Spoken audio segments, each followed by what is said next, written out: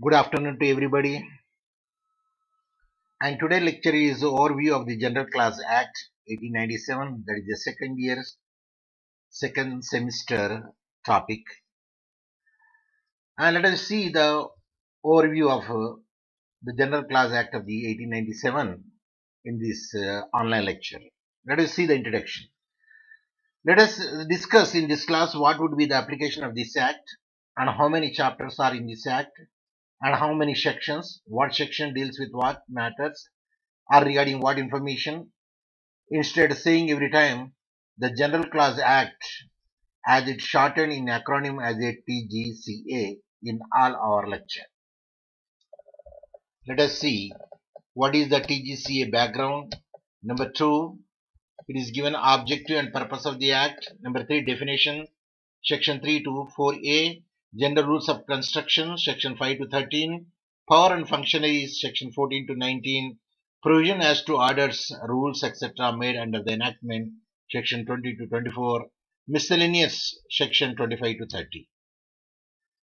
Now we will see what is the background of TGCA and, uh, and its uh, introduction. Any act before commencement, there are there may be some acts which are not proper as there was a deficiency or gaps or loopholes etc.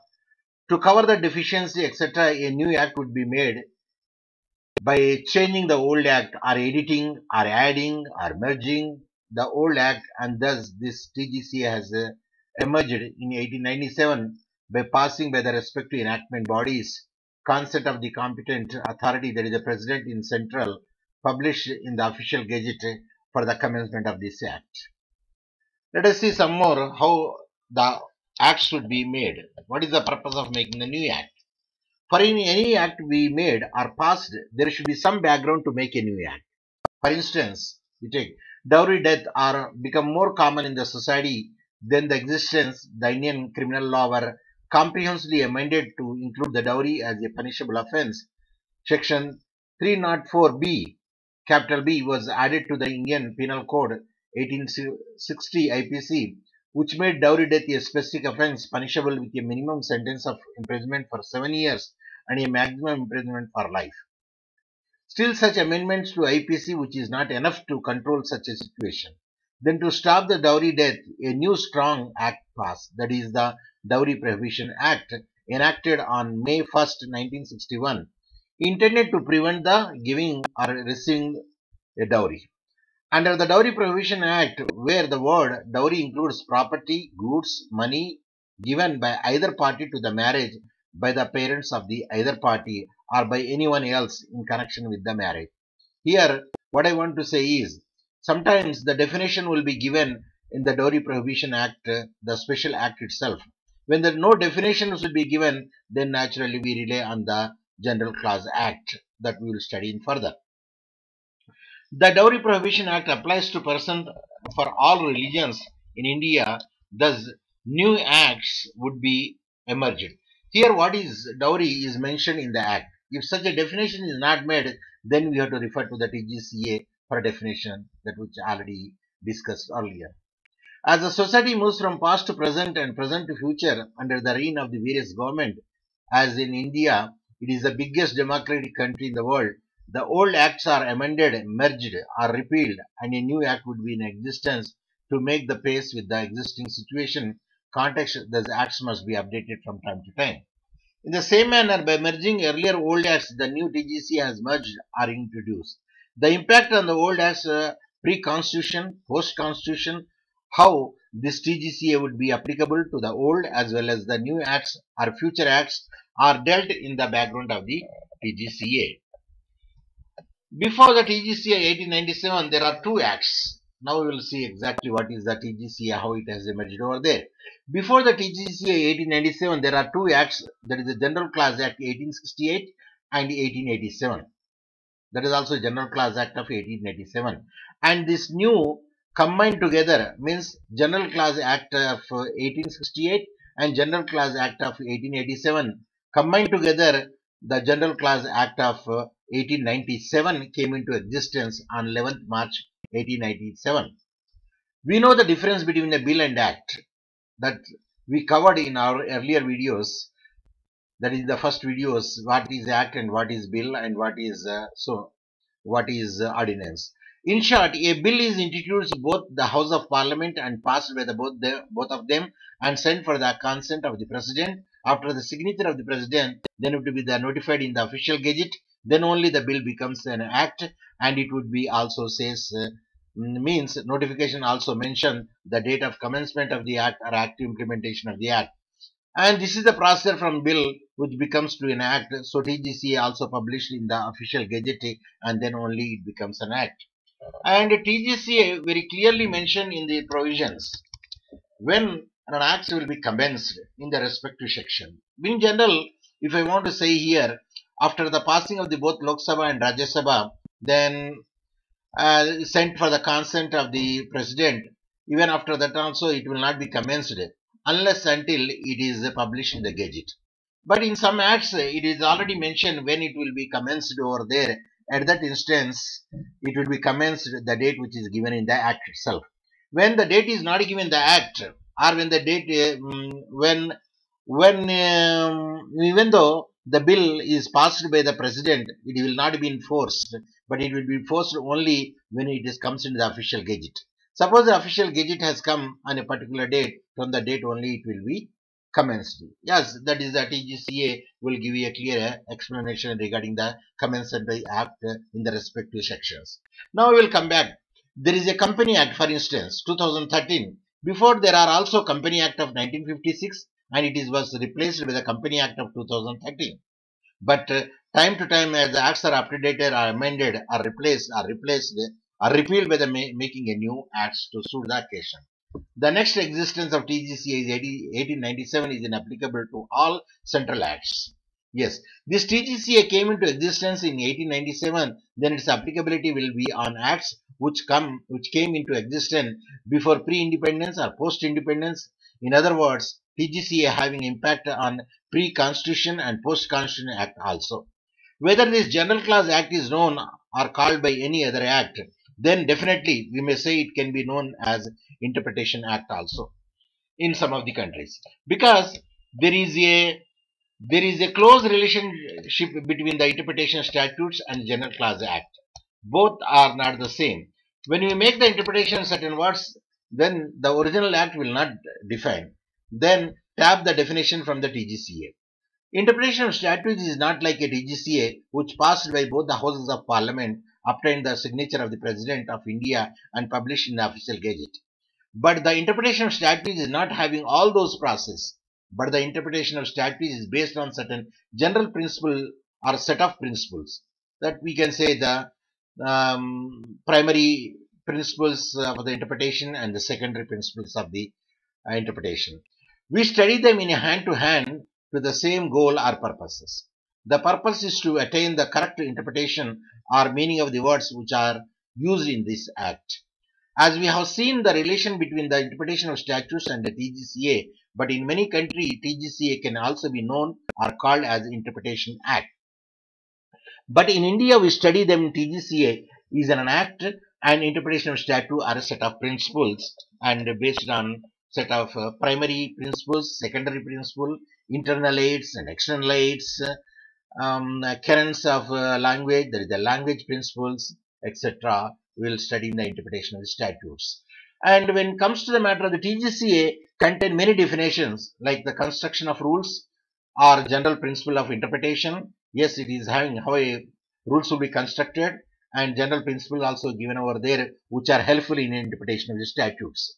Whenever any act word meaning not defined in the act, then we have to refer to the TGC, TGCA definition.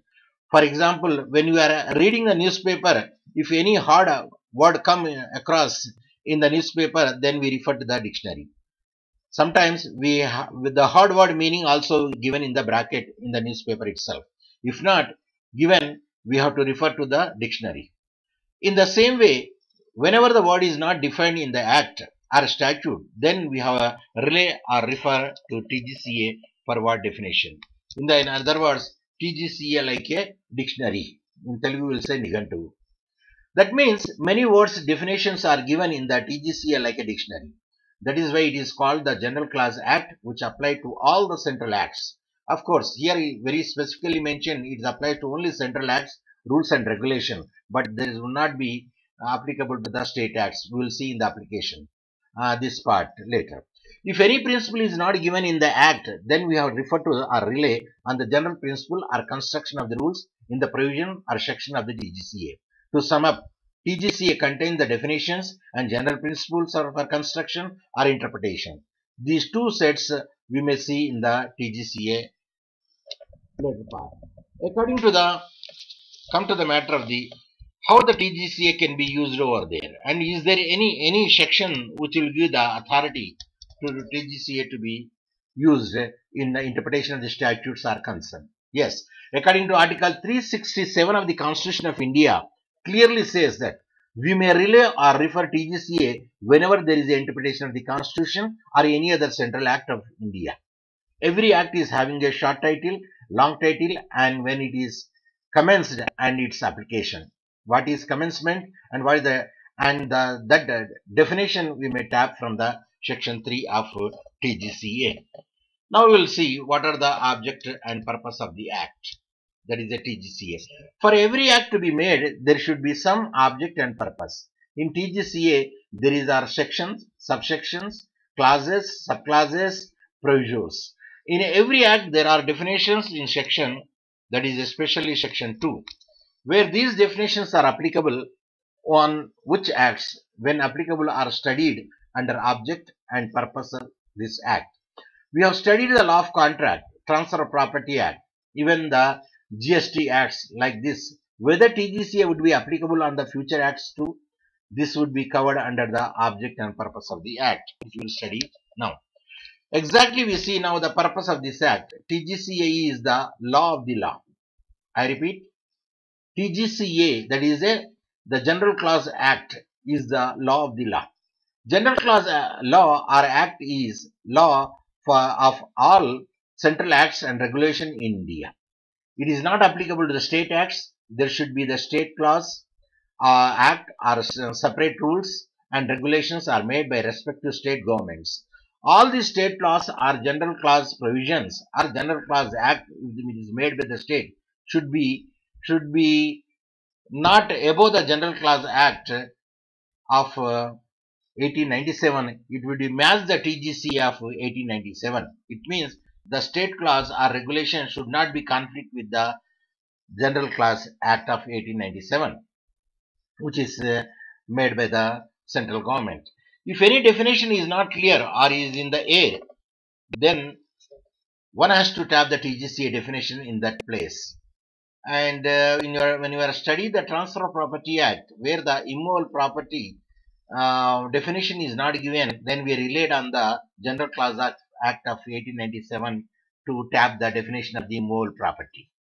And we studied in that uh, uh, in the Transfer of Property Act. Now we'll see what is the other point in the TGCA will be the TGCA will be applicable to bring the uniformity when there is a conflict between the pre-constitution and post-constitutional statutes. In other words, later will prevail or former which is a general principle of law. Then the last point is all the definition of the words are put together in TGCA to shorten the time. Now we will see the, there are two purposes of TGCA.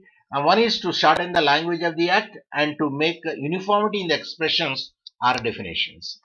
For example, when you want to use the word or write the current year in the act, then in TGCA it is written as year. That means whatever the year or wherever the year comes in the statute, it is written, it should be read as current year. The TGCA, one of the sections says in the, that is the section 3 says in TGCA. Another example is YFY, that is the financial year.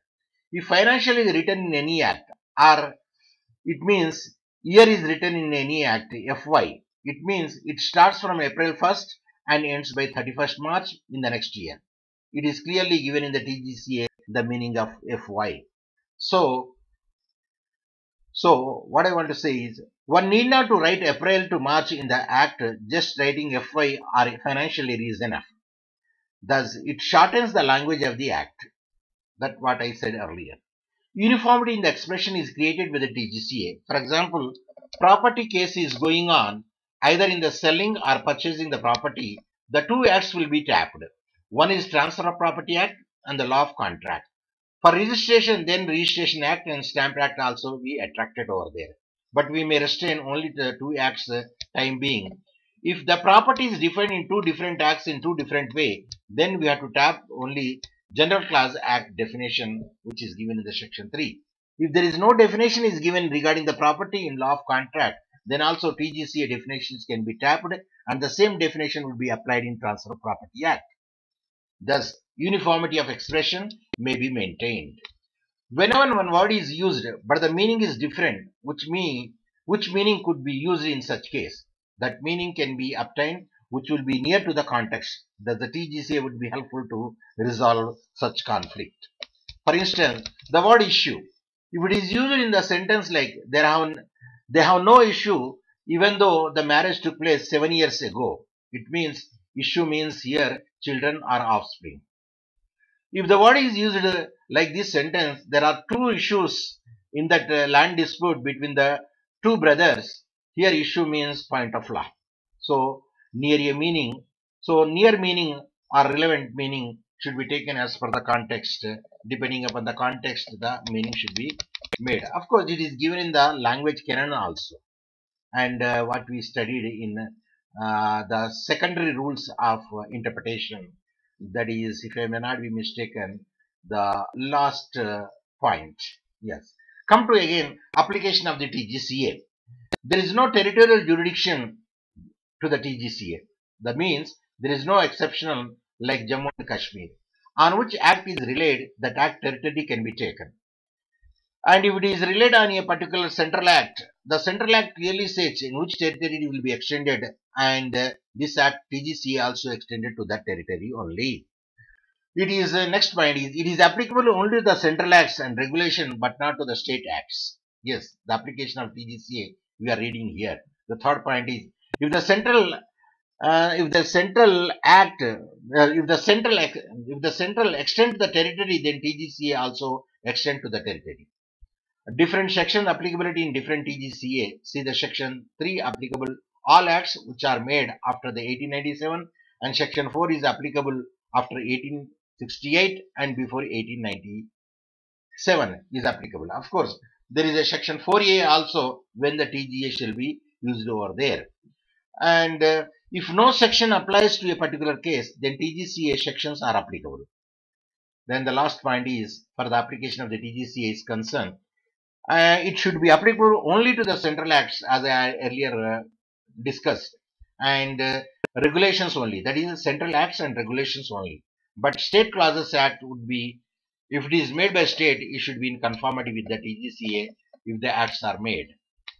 Then comes the third, third point is the definition. The definition section section 3 to section 4a in every act, there are different definitions, and those definitions take place under section 2 in general. But in TGCA, these definitions are given under the section 3. These definitions are given earlier so that uh, whenever such words are used in entire body of the other section, the same definition would be applicable in the entire act. Under this TGCA, there are um, at least when we can say there are 60 to 60 definitions are given um, in the TGCA, but uh, we will uh, have mostly used for our interpretation is 15 to 20 definitions are only like uh, act, preamble, regulations, etc. If you say immovable property, then we, which will be immovable property. If you say movable property, then what and which would be the immovable property? Movable property. What is the definition of a person, etc. We will study under the section 3 of TGCA. Section 4 says about the foregoing definition of previous enactments. That means how this TGCA would be applicable on acts before the constitution. The other acts which were already there before our independence or before TGCA introduced. This all we study under the section 4 and 4a. Then we will come to the fourth point is uh, general rules of construction and which uh, runs from the section 5 to 13. These sections having the two parts the first part says about the life of the enactment. That means whatever the acts or regulations or enactments what would be their life period, which already in existence or which would be made in future are studied under section 5 to 13. We already divided subheading into two parts. The first part deals with the section 5 to 8 about when the act has to come into existence or enforced or when it got the life and when it is repealed completely without any existence and what would be the impact of repealing enactments. The second part says about the construction of rules, rules of general construction. That means rules of time, date, age, number. Suppose if the gender is given he in the statute, it will be read as a, it will be included as a she also. Because wherever the masculine gender is used over there, there also feminine gender could be also be included over there. That we, that is cleared by the section 3 under the TGC only.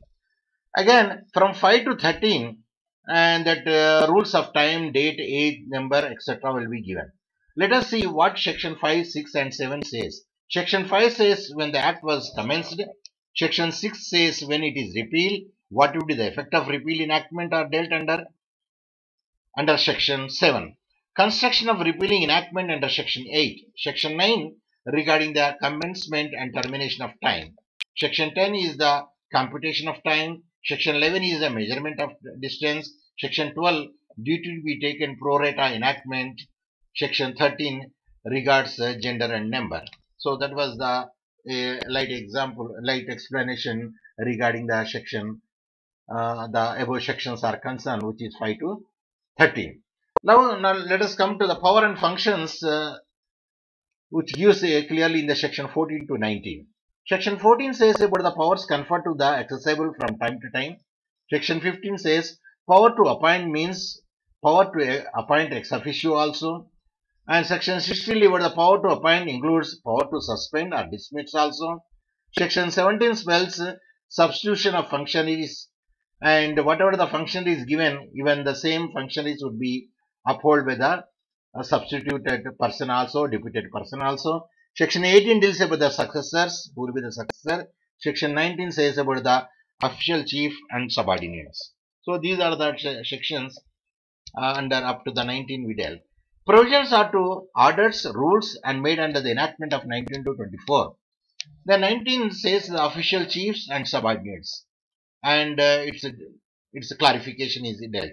20 construction of orders issued under the enactment. 21 power to issue to include power to add, amend, vary, rescind, notification, orders, rules or bylaws. 22 making of the rules or bylaws issuing the orders between the passing and commencement of enactment. 23 provision applicable to the marking of rules and bylaws after previous publication. 24 continuation of the order etc. And uh, later the last part is miscellaneous section that is section 25 to 30 and section 25 recovery of fines. So your fines are how it will be imposed over there, how it can be recovered. When a fine recovery would be there, there it is clearly mentioned uh, the under the section of the IPC should have be referred and uh, CRPC should be referred for collecting the fines and on which offences the fines should be collected. It is clearly mentioned that in the TGCA. 26 provision to offences punishable under two or more enactments. Here, what I want to say is, if one punishment, one act says one punishment, another statute will say the another punishment, then for the same cause of action, two punishments should not be there. At least one uh, statute should be followed, which would be the beneficial to the uh, uh, to the accused. Of course, we will see the beneficial um, statutes uh, in the further lectures or online classes. Now come to the matter of the 27 is concerned meaning uh, service by post. And here when you say whenever the a letter should be posted then uh, that it should contain the proper address including the pin code and uh, prepaid uh, stamps um, stamp should be there. And the last one is it should be registered post with acknowledgement due. If these three conditions would be there then the uh, meaning of the service by post will be completed so where it is given, it is given all this direction under the section 27 of the TG, TGCA. Yes. Come to the matter, of the 28 is concerned citation of enactment. How the enactment will be cited over there. 29 saving for the previous enactments, rules and bylaws and the last one is application of the act uh, to ordinance. So whenever the ordinance would be there, either it is before the independence ordinance made under the Indian Council Acts uh, by the General Governor General after the um, President is made uh, after the independence then when the President made then the ordinance how the ordinance would be applicable that we'll study in this uh, uh, section that is section 31. So this is uh, uh, sum up um, round up regarding the overview of the General Clause Act. Thank you very much for watching my TV. Goodbye.